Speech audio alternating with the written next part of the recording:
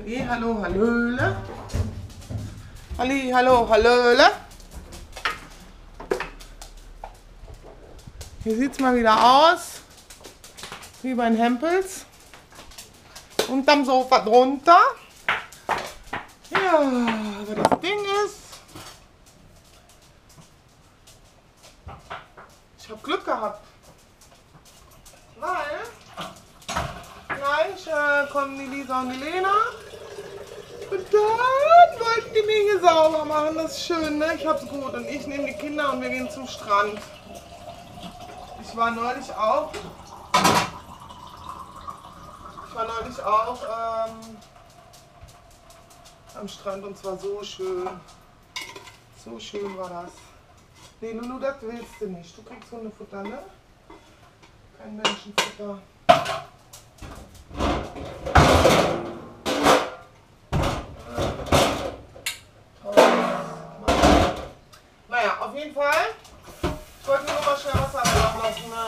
Sekunde.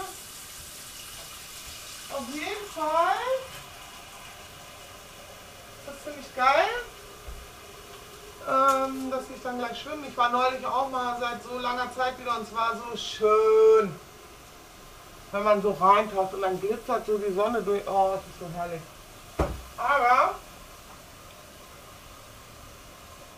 was ich eigentlich erzählen wollte ist, die Lisa hat den Job gekriegt. Hm, so geil. Sie ist gestern schon ähm, mit auf Tour gegangen und sie hat die ganze Zeit so gedacht, kann doch nicht sein, dass das jetzt hier meine Arbeit ist, dass ich dafür jetzt Geld kriege, dass ich hier so geile Sachen mache. Ne? Sie, sie schwimmt jetzt mit Delfinen jeden Tag. Also nicht jeden Tag. Jeden Tag, wenn Touren sind und aber die sind es ist ja gerade gar keine Saison und äh, es war schon, das Boot war voll gestern. Die sind zwei Touren gefahren gestern. Echt cool. Echt cool. Jetzt hat sie so einen geilen Job.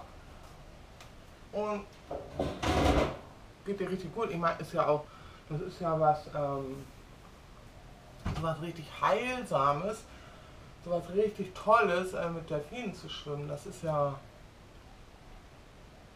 eigentlich unbezahlbar und sie wird noch dafür bezahlt. Also es ist, wir können unser Glück gerade gar nicht fassen. Das ist echt, macht mir schon wieder Angst alles, ne? Wenn alles so gut läuft, da kriege ich immer Angst. So eine kleine Störung. Ich denke immer, hä, jetzt kann aber irgendwas. Mm. Aber Bullshit. Freue mich einfach nur. Voll cool. Und dann noch sowas Verrücktes habe gestern, ähm, weil die Lisa war ja da unterwegs, dann habe ich ähm, die Kinder gehütet, ne? Also die sind dann bei mir so lange. Und äh, weil ich das Auto nicht hatte und so und ich war irgendwie, ich bin auch noch so ein bisschen kränklich. Ich schlepp das noch so mit mir rum. Was ist das denn, ey? So eine Wabbelscheiße hier. Die Lisa, immer wenn die, ach, Lisa und Willi kaufen einem gerne verschimmeltes Obst. Und mir tut das dann in der Seele weh und dann esse ich die Scheiße.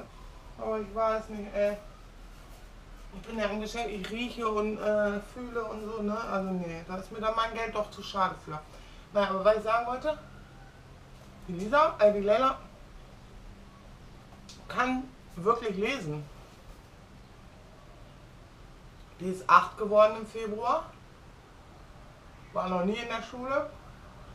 Und wir haben auch nie, wir machen ja kein Homeschooling. Wir machen ja Unschooling. Das bedeutet, wir machen so, äh, wo die Kinder Bock drauf haben. Also ich als Oma schon, manchmal setze ich mich hin, manchmal, aber manchmal heißt alle drei Monate mal oder vielleicht auch noch seltener, ich weiß es gar nicht, also es weiß ich nicht, wenn ich halt Bock habe und sie auch, haben wir uns manchmal hingesetzt und ähm, so Bücher, gibt ja da so Bücher, ähm, wo du so ausfüllen musst und so, ne, so komische Lernbücher, das haben wir immer mal gemacht, aber niemals irgendwie lange, das auch immer nur so, wie sie Bock hatte und ja, Ich finde es wahr. Ach, ich sollte mal aufhören, nicht zu fressen und zu reden. Ne? Was ist los bei mir? Ja. Habe aber Hunger. Auf jeden Fall haben wir nie geübt. Und auf einmal kann die einfach lesen. Also und auch so krass, ne? Ich kenne so, wenn die so anfangen, so, ne? so ganz langsam, wenn die jetzt irgendwas lesen, so ganz langsam. Und sie ist so ganz krass, ne? Sie guckt dann so. Dauert ein bisschen, ne? Sie guckt so, ich sag so, Lehrer, was ist denn das? Und dann sagt sie einfach das Wort. Sie guckt so ein paar, ja noch nicht mal ein paar Minuten, aber sie guckt so. Und dann sagt sie einem das Wort, was da steht. Verrückt, ne? Geht einfach so. Ich finde das verrückt. Und meine Theorie ist ja, ne? Meine Theorie. Weil pass mal auf. Also, mit dem Rechnen, das habe ich bestimmt auch schon mal erzählt, ne? da hatte ich ja ein großes Trauma und I, I, I, meine Mädchen, die waren ja auch früher in der Schule, Waldorf, ja, und haben, ähm, war auch also wir haben da ganz viel Druck erlebt und haben zum Beispiel Rechnen war nie ihr Ding. I und nein, kann ich nicht. Und Lisa, bei der ging das wirklich so weit. Wir haben ihr dann auch äh, Dyskalkulie diagnostiziert natürlich, ne, weil jeder, der ja nicht genau in die Norm hineinpasst, dem wird da irgendwas diagnostiziert. Ne? Kennen wir ja diese Manieren.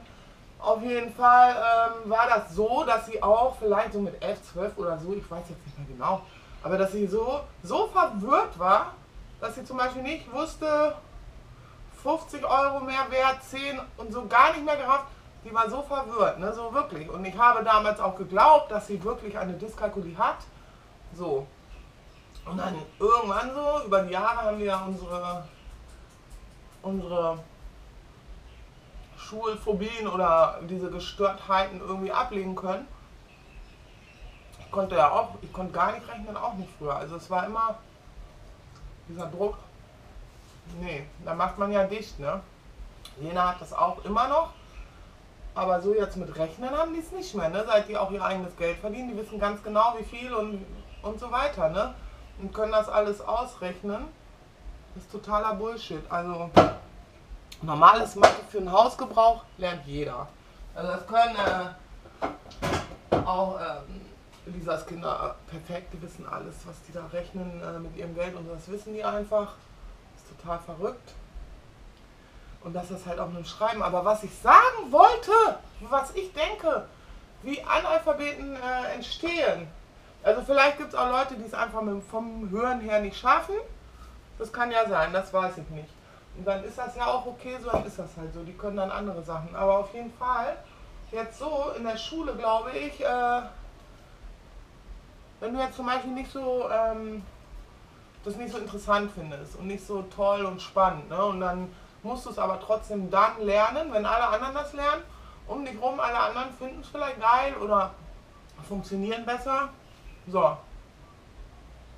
Alle um dich herum lernen das und du so, oh, ich kann es nicht, ich kann es nicht, ich kann es nicht, ich kann es nicht. Und dann bist du ja nur noch, ich kann es nicht, ich kann es nicht, ich kann es nicht, ich nicht und dann kannst du es auch nicht. Also das glaube ich, ne? Und dann äh, mogeln die sich irgendwie, dann lernen die halt so sich durchzumogeln. Das ist ja bei allen Sachen so. Ne? Wenn es nicht klappt, muss man halt irgendwie Wege finden. Und dann gehen die echt von der Schule und äh, können noch nicht mal lesen und schreiben. Weil das ist, dass zum Beispiel Kinder, die jetzt nicht zur Schule gehen, oh, scheiße, fliegen, fliegen, Reis, fliegen, köstlich. Naja, das ist äh, Kinder gibt, die anschulen und die nicht lesen und schreiben lernen und die auch nicht äh, rechnen lernen, ich glaube es nicht. Ich glaube es einfach nicht. Weil ich denke, wenn du ganz frei äh, sein darfst und ähm, du möchtest es einfach lernen, also dann, dann entscheidest du dich nicht äh, so dich durchzumogeln, sondern entscheidest du dich so, ja klar, das lerne ich mal, ne? Finde ich auch immer so witzig, dass wie oft die auch sagen, äh, so, das hat auch der Carlos ja auch immer gesagt, so, ne? Ich so, äh, woher weißt du das so? I don't know. I don't know. Wir wissen es einfach. Wir wissen es einfach. Das war verrückt. Boah, ey, wie vergammelt. Ich bin so ekelhaft. Oh mein Gott. Ich sollte keine Videos machen. Das ist echt eklig, ne? Ich ekel euch doch an. Ein vergammelter Reis. Mit Orange. Aber hier, das so, ne, so stückchenweise kann man das dann ja immer noch essen. Ich mag nicht sowas wegwerfen, ne? Hab kein Problem, irgendwelche äh, Junkfood wegzuschmeißen, aber so Obst und Gemüse, das tut mir am Herzen weh. Das ist so wertvoll. Also du, was freust du dich denn? Ja, auf jeden Fall ist das meine Theorie. Und auch immer so Sprüche, hm, in Afrika werden sie froh, wenn sie zur Schule dürften. Hey, geht mir doch mal nicht auf den Sack. Hat doch nichts mit uns zu tun. Die haben halt ihrs, ist ja okay. Vielleicht würde ich auch, wenn ich in Afrika groß geworden wäre, fände ich vielleicht auch geil zur Schule zu gehen. Das weiß ich ja gar nicht. Das ist mir aber auch egal, weil das bin ich ja gar nicht. Ich bin ja ich, ne? Ich bin in Deutschland geboren und ich wurde da in das System reingepresst. Also es wurde versucht, mich hineinzupressen, ne? Aber verstehe ich echt nicht. Verstehe ich echt nicht, ey. Wie die Leute so, aber die glauben das dann auch noch, ne? Immer so, da, das lohnt sich dann auch gar nicht so jetzt rumzustreiten, aber es ist schon ein Thema, was mich immer sehr, ähm, ja, wie heißt das, macht mich immer sehr, nee, sauer nicht, aber äh, ja, ich muss da so was zu sagen, sagen wir mal so, ich habe da so den Drang, auch was dazu zu sagen, weil mich diese Doofheit einfach aufregt. Ne? Die Leute haben überhaupt keine Ahnung, nichts, haben sich noch nie mit Unschooling äh, beschäftigt, wissen gar nichts, hören dann nur, oh, die gehen nicht zur Schule. Und dann denken die sich einfach irgendwas aus und ja, das stimmt dann so für die. Ich meine, ist ja okay. Ihr könnt ja eure Wahrheit leben, wie ihr wollt, ne? Aber mich regt es dann, also, ne, ich möchte dann schon immer was sagen, ne? Aber ich finde das doof, wenn Leute so über Sachen reden, wo sie echt keinen Plan haben, ne? Das macht doch gar keinen Sinn. Also ich möchte doch dann äh, mit Leuten reden, die da auch irgendwie schon mal sich Gedanken drum gemacht haben oder die es auch verstehen. Also weißt du, wenn jemand sagt, ich habe mich damit beschäftigt, habe dies oder das gelesen, habe mit diesem oder jenem geredet äh, und äh, für mich kommt das überhaupt nicht in Frage, ich finde das total scheiße oder was weiß ich, ne? Finde ich okay. Aber einfach nur so blödes, ähm, so ja, oh, die hören, oh, keine Schule und dann so, was? Aber das geht aber nicht, ne? Und dann hören die das das erste Mal und sagen direkt, das geht aber nicht. Das kann doch nicht sein. Also was machst du denn? Was tust du denn deinen Kindern an? Weißt du, du lebst in deinen Traum auf Kosten deiner Kinder und so. Musste ich mir auch alles anhören, diesen Quatsch. Weißt du, es macht echt. Und das dann halt von Leuten, die überhaupt keine Ahnung haben. Und ich meine, ich habe mich ja mit, mit dem Thema Unschooling äh, beschäftigt. Sehr viel. Sehr, sehr viel. Und ich war auch in der Schule und ich hatte auch meine Kinder in verschiedenen, an verschiedenen Schulen und ja, ich habe da meine Erfahrung. Aber dann sagen Leute auch, ja, du kannst ja nicht nach deinen Erfahrungen gehen. Ja, aber wo bitte, wonach soll ich denn bitte gehen? Nach diesem Bauch hier, nach diesem gehe ich, ne? Nach meinem Bauch und aber auch äh, natürlich auch nach meinen Erfahrungen. Hä? Das verstehe ich gar nicht. Ich verstehe dann immer diese Aussagen nicht mehr, ne? Aber dann denken die vielleicht auch, ja, du bist einfach zu blöd, du warst nicht lange noch in der Schule, hast ja kein Abitur gemacht, ne? Dann kannst du das ja auch alles gar nicht wissen. Aber ich sage euch, ihr Lieben, ich weiß alles, was ich wissen will. Alles, was mich interessiert, alles, was ich wissen will. Nee, was ist das denn? What the? Ja, das weiß ich auch, weil wenn es mich doch interessiert, dann informiere ich mich doch. Ne? Dann gucke ich mir das an und das war's, ne? Also ich weiß nicht, was diese Scheiße immer soll. Das ist echt krass, ne? Das ist echt krass. Das, das ist echt krass, ne? Auch wenn zum Beispiel jemand jetzt Lehrer ist und dann äh, meint, mir irgendwas über Unschooling, nein, da kannst du mir nichts drüber erzählen, außer du hast dich mit dem Thema beschäftigt. Wenn du dich gar nie damit beschäftigt und nur weißt, ich bin Lehrer und Schule ist wichtig und gut, wenn das alles ist, was du weißt, dann kannst du doch nicht mit mir über Unschooling reden. Das geht doch gar nicht. Muss man mal nachdenken. Das ist halt auch immer das, was ich so ein bisschen vermisse bei, der, bei den Menschen an sich. Ne? Ist so dieses äh, einfach auch mal ein bisschen nachdenken. Nachdenken. Nicht nur nachplappern. bisschen selber denken, bisschen selber hinfühlen auch. Finde ich auch sehr wichtig, ne? Ich finde jetzt auch nicht nur. Ähm, ups, was ist das? Das? Ich finde jetzt auch nicht nur, äh, nicht nur denken und auch nicht nur fühlen. Ne? Man sollte das beides irgendwie miteinander verbinden können, ne? Obwohl ich sagen muss, am Ende gewinnt das Gefühl bei mir. Bei mir gewinnt das Gefühl. Nicht die Gedanken, ist doch Schwachsinn. Die Gedanken, da weißt du doch gar nicht. Ist das irgendwas? Hat das irgendjemand mir jetzt hier eingeimpft? Ne? Bin, ich, bin ich brainwashed oder nicht? Ne? So. Aber wenn ich mich hinsetze und dann ähm, so das Gefühl, das Gefühl belügt mich nicht, ne? Aber ist halt auch schwer, ne? Zu wissen, ist das mein Gefühl, ist es meine Angst? ist es mein Wunschdenken und so, ne? Das ist alles nicht so einfach, das verstehe ich auch, sehe ich auch so. Aber ich finde halt so, also das sollten mal alle Leute wissen, ich habe mir das nicht, das war nicht jetzt eine leichte Entscheidung für mich. Das war nicht irgendwas, ähm, ach, Unschool Mama, ach, bla bla. Nee, das hat echt lang gedauert, bis ich mich das überhaupt getraut habe. Und da habe ich mich ganz viel informiert vorher und habe auch ganz viel dahin gefühlt.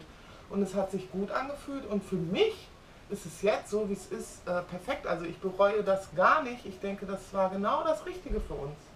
Für uns. Ne? Was jetzt auch nicht heißt, ist für jeden das Richtige.